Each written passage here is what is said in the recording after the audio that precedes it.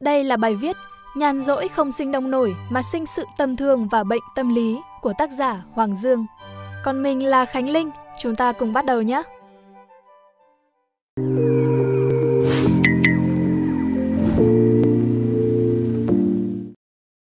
Colin Wilson từng phát biểu trong cuốn New Pathways in Psychology rằng đây là một trong những vấn đề hệ trọng nhất của con người hiện đại.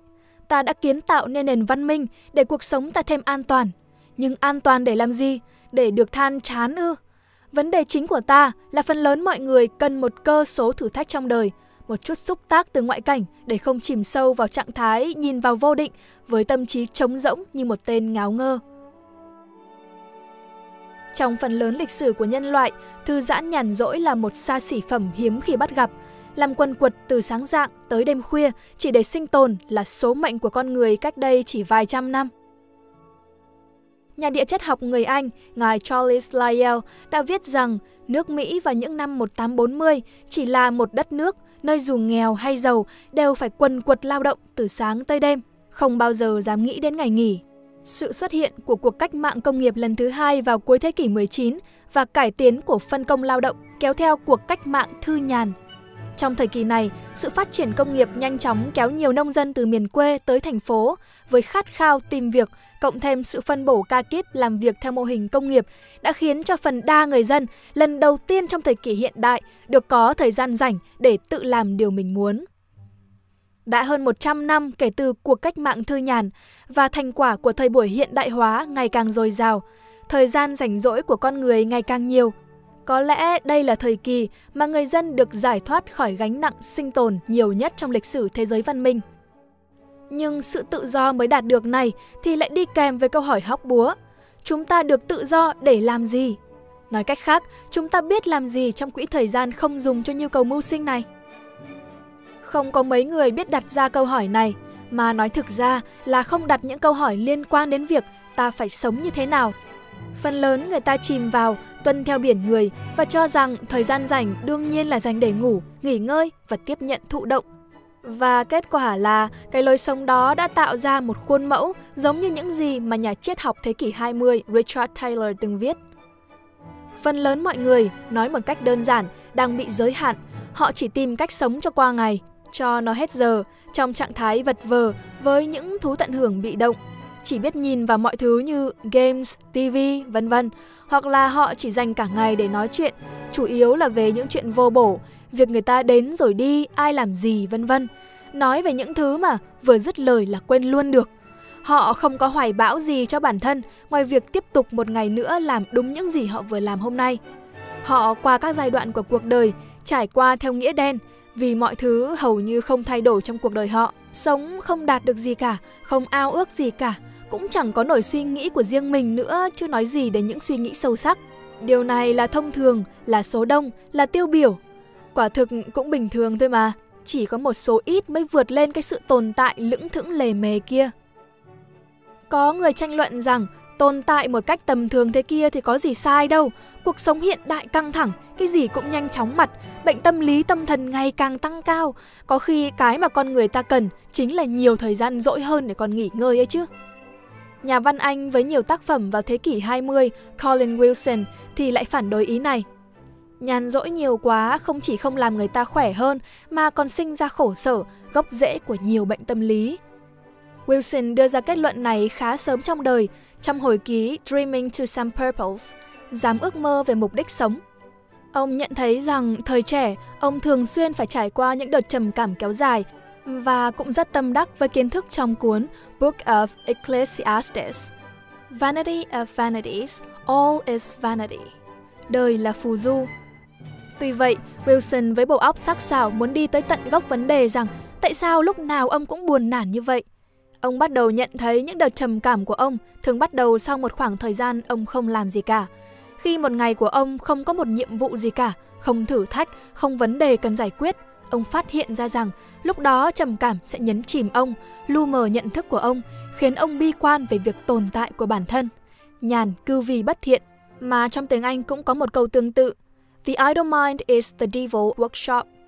Hay như chính Wilson đã viết, nhàm chán, bị động, trì trệ, Đây là khởi đầu của bệnh tâm lý, nó sinh sôi như bọt váng ở trong ao tù. Nếu như những phát hiện của Wilson về mối liên hệ giữa bị động và bệnh tâm lý là đúng, thì cuộc sống chúng ta chỉ có hai lựa chọn sau. Chúng ta có thể bỏ phí cuộc đời theo đuổi những thú tiêu khiển bị động, để mặc những tiềm năng chưa được khai phá trong ta và phó mặc số phận ta với những bệnh tâm lý. Hoặc ta có thể phấn đấu dành phần lớn thời gian rảnh của ta để sáng tạo, khám phá, học hỏi, làm một thứ gì đó, thách thức khả năng của bản thân và phát triển tài năng của ta. Lựa chọn thứ hai đương nhiên đòi hỏi người ta phải kiên trì, vật lộn, hy sinh những thú vui ngắn hạn và sự thoải mái, nhưng thành quả là sức khỏe tinh thần và phát triển bản thân thì cũng đáng thử đấy chứ. Theo như Wilson, một cá nhân có sức khỏe tinh thần là một người thường xuyên phải vận động đến những tầm sâu trong nhận thức quý giá của não bộ. Một cá nhân với bộ não liên tục ngơi nghỉ, chỉ động chạm trên bề mặt sẽ gặp vấn đề trong lưu thông.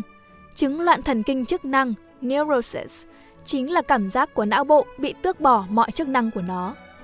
Nhưng nếu như phát hiện của Wilson về mối liên hệ giữa bị động và trầm cảm không mang tính áp dụng với tất cả mọi người, mà chỉ với một bộ phận nhỏ những người giống như ông, những con người với khát khao sáng tạo mãnh liệt. Có lẽ với những người còn lại, an nhàn không dằn vặt họ như nó dằn vặt ông.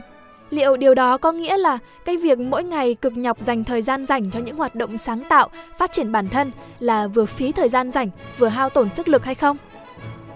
Trong cuốn Restoring Pride, Phục hồi lòng kiêu hãnh, Richard Taylor đã lập luận rằng nỗ lực sáng tạo và sản xuất luôn luôn xứng đáng với công sức ta bỏ ra, bởi vì như ông giải thích, nó tăng khả năng của con người có thể đạt tới trạng thái kiêu hãnh. Taylor định nghĩa kiêu hãnh là yêu quý bản thân một cách có căn cứ. Với một lưu ý rằng trong cuộc sống nhiều người nói là họ yêu bản thân, nhưng phần lớn sự tự yêu đó không phải là kiêu hãnh mà là sự tự phụ hoặc là vỏ ngoài kiêu căng để che giấu những tự ti và lòng căm ghét bản thân ẩn sâu bên trong. Muốn được thực sự kiêu hãnh, Taylor giải thích, ta phải đạt được thứ tình yêu mà có căn cứ từ chính con người thật của ta. Tức là ta phải tạo ra một giá trị ở một lĩnh vực cụ thể nào đó và đạt tới một trình độ xuất chúng nhất định nào đó mà ở đó ta có thể phân biệt ta với những người khác. Nói về việc ta muốn trở nên tốt hơn mọi người sẽ làm phật lòng người khác trong thế giới hiện đại. Như chính Taylor cũng đã nói, người ta nhầm lẫn quyền bình đẳng và giá trị bình đẳng. Tuy ai cũng có quyền bình đẳng và xứng đáng được đối xử công bằng trong luật pháp, điều đó không có nghĩa là ai cũng có giá trị như nhau. Người Hy Lạp cổ đại đã rất rạch ròi về việc này. Họ hiểu rằng tuy phần lớn mọi người sẽ dành cả đời cố gắng theo số đông, chỉ có một số ít người sẽ rèn luyện được kỹ năng và phẩm chất đặc biệt nào đó, chế tạo ra những sản phẩm với những giá trị xuất chúng, hoặc là nâng cao độ vĩ đại của họ mặc cho người ngoài có ý kiến gì. Và như Taylor đã viết, những cá nhân đặc biệt kia, những con người xuất chúng, chỉ họ mới có thể yêu bản thân mà không cần phải giả bộ gì cả. Do đó, lần tiếp theo ta thấy mình có thời gian rảnh rỗi để tự lập kế hoạch cho mình, Thay vì lên mạng Internet tham gia những hoạt động giải trí bị động hay ngồi buôn chuyện phiếm về những chủ đề vô bổ, chúng ta nên hỏi bản thân rằng liệu sự thoải mái và niềm vui của những hoạt động này mang lại có xứng đáng với giá trị của nó hay không? Bởi vì tuy rằng nhàn rỗi chưa chắc đã tiêm vào đầu ta những mầm mống của tiêu cực hay trầm cảm, thì nó nhất định đang hạ thấp giá trị con người của ta và làm giảm khả năng đạt được tình yêu bản thân từ lòng kiêu hãnh thuần khiết. Hoặc như lời của Taylor, một vài người trong chúng ta không thể phủ nhận là sinh ra để trở nên tầm thường, để sống một cuộc sống không có mục đích. Nhưng con số đó thực ra rất hiếm. Phần lớn chúng ta đều có sức mạnh để trở nên sáng tạo và một vài người xứng đáng được tôn lên tầm thánh sáng tạo. Nhưng nhiều người, thậm chí là số đông nhé, thấy mãn nguyện với những vui thú mà những tiêu khiển vô nghĩa kia mang lại. Quả thật vậy, nhiều người không ngại cho rằng cuộc sống cuộc đời họ đã thành công bởi vì họ sống mà tránh được mọi nỗi đau bằng cách đuổi theo những vui thú từ phút này sang phút khác, ngày này qua ngày kia và cả sự ủng hộ từ những người xung quanh. Và điều này còn chưa kể là trong người họ có khả năng mà không có ai khác trên thế giới này có thể đạt được. Thế nhưng họ chọn chỉ làm những gì mà người khác đã làm, sống an toàn và thoải mái. Và sống mà làm được thứ gì đó khác biệt, làm được việc gì đó thật giỏi, cho dù có được mọi người ủng hộ hay không, đó mới là cái mấu chốt của việc làm người và chỉ có nó mới có thể căn cứ cho tình yêu bản thân, cái thứ mà ta gọi là tự hào. Uhm, đọc bài viết tới đây thì có ai thấy cái vị ngan ngán ở cổ vì rồi ạ, à, lại bài học phải sống độc đáo, phải ra khỏi vòng an toàn. Nhưng điều làm mình ấn tượng về bài viết và sự lý giải của Richard Taylor về gốc rễ của sự tự hào của việc yêu bản thân, đó là ta chỉ có thể thực sự yêu bản thân khi ta thấy được giá trị của việc mình làm, khi việc mình làm là có ý nghĩa. Remember, always take what you read with a grain of salt. Hy vọng các bạn sẽ thích video lần này. Đừng quên like, share và subscribe ủng hộ chúng mình.